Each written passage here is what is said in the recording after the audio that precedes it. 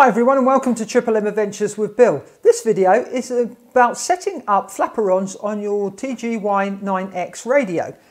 Now I, I, like this radio, I've had it for quite a long time. I've got two of them as you probably know if you've watched my videos. So I want to put out videos. I don't get many um, views of the videos but I want to put them out about the radio because I actually quite like it and it's a, a really good budget radio. Okie dokie, so we'll switch over to the radio and then we'll go on to companion so that I can show you the settings. Let's take a look at the flaperon settings on the TGY9X. Okay, we're going to hold the button down once and we're going to go over. And the first setting we need to look at is in our mixes. Now we're going to have to add two lines on each aileron. That's because I've set up two flap settings. So you can see it's 50 and 70. Okay, we're going to go into the first one. And you can see I've put the source max. I've gone down to the weight 50 and everything else should be normal. So it will be zero offset, no diff. And then on the radio, I've linked it to ID1, which is this switch here.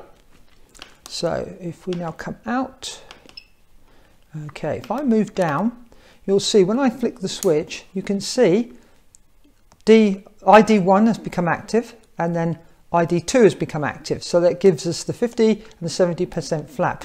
Now you have to be careful with flaperons. It's not like using a separate flap on having a flap and an aileron separate because if you overdo the flap, you won't have any aileron control uh, because they are too far deflected. So you have to be careful. Now on the clouds plane, I managed to get away with this setting at 70% and I could still control the uh, ailerons as I came into land.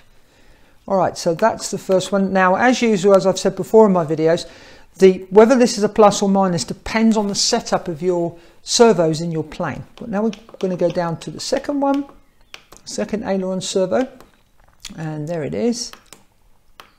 Okay, and you can see now I've done exactly the same settings, but now it's a minus, and again linked to this switch here. You can see no flap, 50% flap, 70%.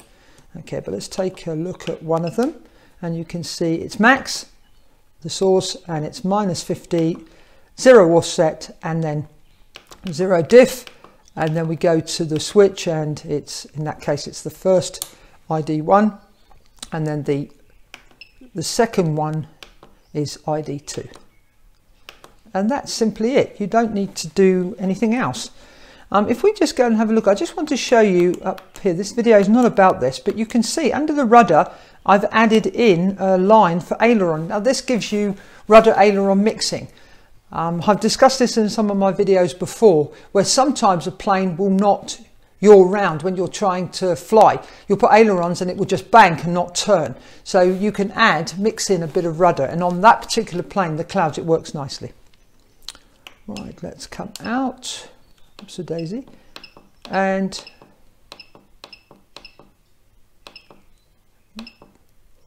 that should be it. Right, let's take a look at the settings in Companion. Now we need to have Companion 2.1.9. That's the only one we can use with the TGY9X now. Okay, let's switch over to the computer. I'm going to open up my latest backup. Okay, we get the warning, we just ignore that. I'm going to open the clouds and let's go. We just need to go straight to the mixes. Okay, and you can see the two lines that I've added to each of the ailerons. Let's open one up and have a look. So the source is max, the weight is 50%, offset zero, diff zero, and then we allocated it to the switch uh, ID one. Okay.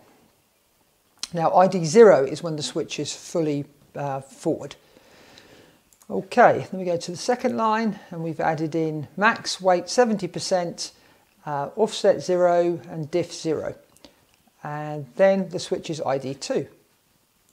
Okay, we go to the second aileron and then this is the reverse of the first channel aileron. So it's minus 50, 0 offset, 0 curve or diff and then connected to ID1 and the second one is going to be the same higher percentage, it's uh, 70, minus 70%, zero offset, zero curve, and then the ID2 switch.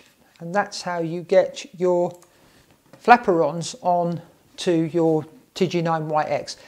Now, the thing to remember is, to, as I said earlier, is you make sure you don't have too much flap on flaperons. Otherwise, your ailerons won't be inactive. They won't operate because they've got not haven't got enough movement. With with separate flaps, you can have them come down as far as you like, and your ailerons obviously will still work. But with flaperons, you have to be careful.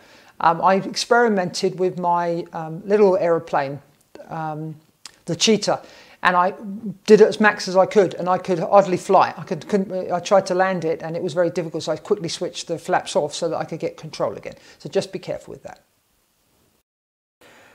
Thanks for watching this video and if you enjoyed it please give it a thumbs up and if you really enjoyed it please subscribe to my channel and please share this video with your friends and if you have any comments please leave them in the comment section below as I would love to hear from you.